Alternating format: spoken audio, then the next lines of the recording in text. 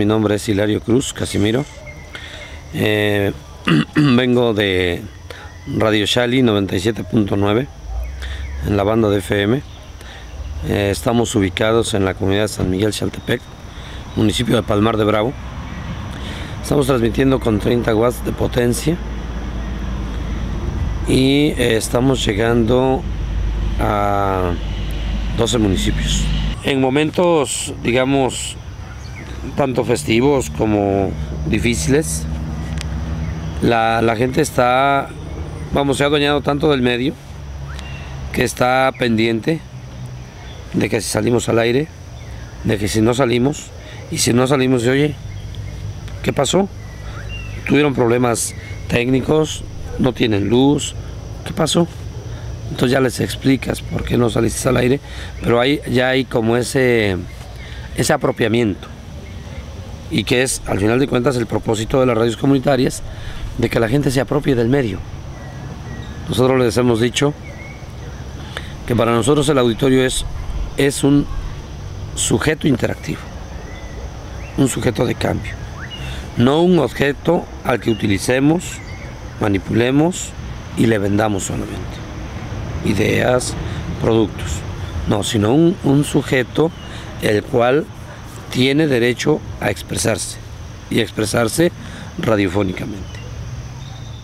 Estamos en línea telefónica con Hilario Cruz, él es el director de Radio Chali en Chaltepec, en Puebla. Eh, Hilario, muy buenos días. Buenos días, Sergio. No son tan buenos si le cerraron la radio, ¿verdad? Pues sí, claro que no son tan buenos y sobre todo más la forma como lo hicieron, ¿no? Y además en un día tan importante como el 2 de octubre, que ayer se recordó en todas partes y a ustedes les cierran la radio, les cierran su libertad de expresión. Fíjate que efectivamente decíamos el 2 de octubre no se olvida yo creo que menos con esto se va a poder olvidar.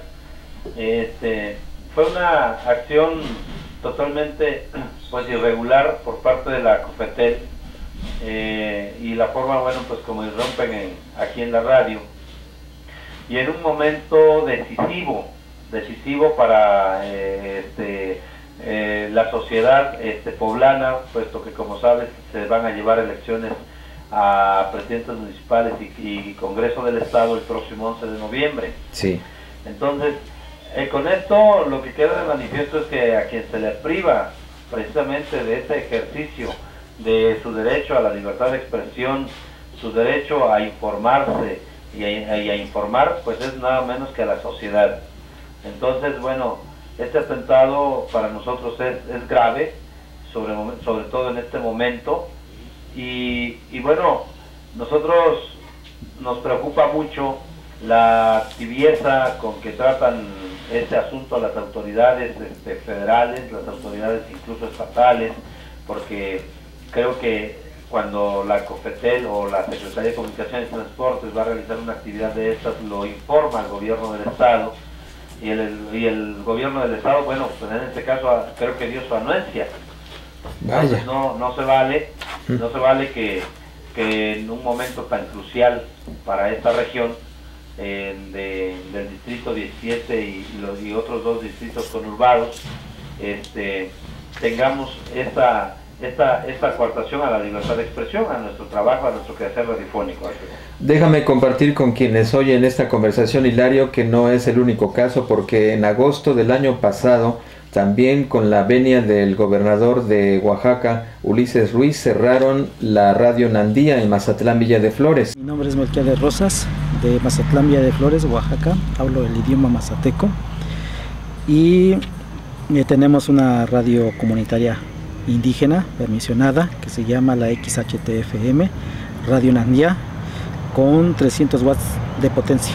Bueno, ahorita la radio no está al aire, dado que un grupo de personas que militan en el Partido Revolucionario Institucional, que es el PRI, eh, gente cercana a Ulises, eh, con lujos de violencia, eh, nos cerró la, el edificio, nos desalojó del edificio y la radio no está transmitiendo, no está al aire en este momento, dado por la situación de intolerancia y, que, tiene el gobierno del Estado, estos medios medios libres o medios alternativos.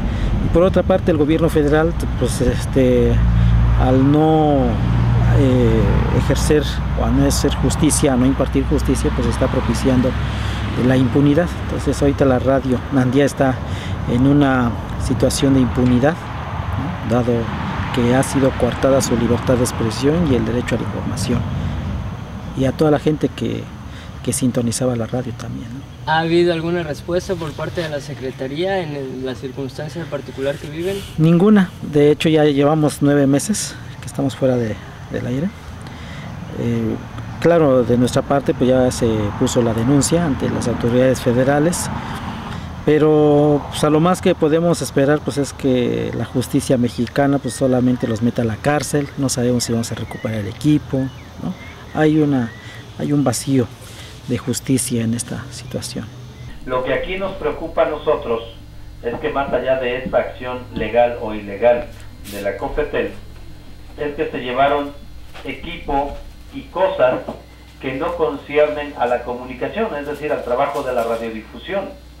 Entonces ya, ya pareció más un acto vandálico este, que un acto de legalidad.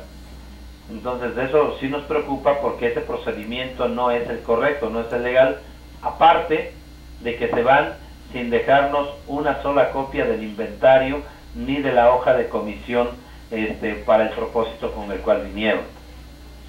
Hilario, pues de pronto nuestra solidaridad desde acá, desde Radio Teocelo y esperando que las demás emisoras de la red de la Asociación Mundial de Radios Comunitarios hagamos extensivo a nivel nacional un comunicado que permita ubicar qué es Cofetel.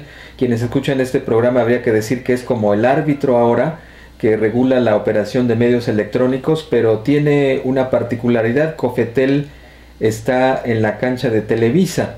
Y la ley Televisa se echó abajo en parte con la Suprema Corte de Justicia de la Nación y están esperando una reforma a la ley federal de radio y televisión que permita que los ciudadanos como ustedes y muchos otros en el nivel nacional tengan sus propios medios comunitarios. Así que tiene ese contexto. Vamos a esperar ver cómo se desempeña el gobierno federal a través de SCT, a través de COFETEL pero de pronto nuestra solidaridad. Pues muchas gracias, Sergio. Gracias también a la gente de Radio Bemba que ayer también nos hizo la misma, pues la misma entrevista, esta, esta llamada solidaria. A la gente también de Ecos de Manantlán, que allá en Jalisco, que también nos hicieron el favor de llamarnos. Entonces, bueno, al igual que ustedes, pues muchas gracias. Ya saben, digo, eh, a ustedes los conocimos allá por el 99, sí. un poquito antes y bueno, eh, la, la, relación de amistad y de trabajo ha sido pues muy, muy, muy buena, este, muy conjunta y bueno, pues también, ¿por qué no recordarles al auditorio de Radio Celo eh, que, qué fue en el, en el 99 o en el 2000, qué fue que les cerraron también a ustedes? En el 98. En el 98. Y bueno, a esto digamos aquí de momento la gente puede pensar que nosotros porque estamos en un marco de, regularidad, pero ustedes estaban ya dentro del marco legal y sin embargo le cerraron por, por cosas realmente a nuestro parecer también absurdas, ¿no? Entonces, bueno, pues también en ese momento creo que la, la, solidaridad de la gente de Veracruz, de la Red Nacional de Radios Comunitarias y otras más, se sumaron a este esfuerzo y bueno, gracias a todo esa, ese apoyo, bueno, pues lo sigue caminando hacia adelante. También, bueno, pues felicitarlos por el trabajo que están haciendo y gracias, por supuesto, eh, por esos momentos en que también están acompañándonos a nosotros. Muchas gracias Hilario Cruz, estamos en contacto y a los compañeros del colectivo un saludo y como decimos aquí con Héctor, un viejo corresponsal nuestro y el equipo de Teocelo TV, no se arruguen.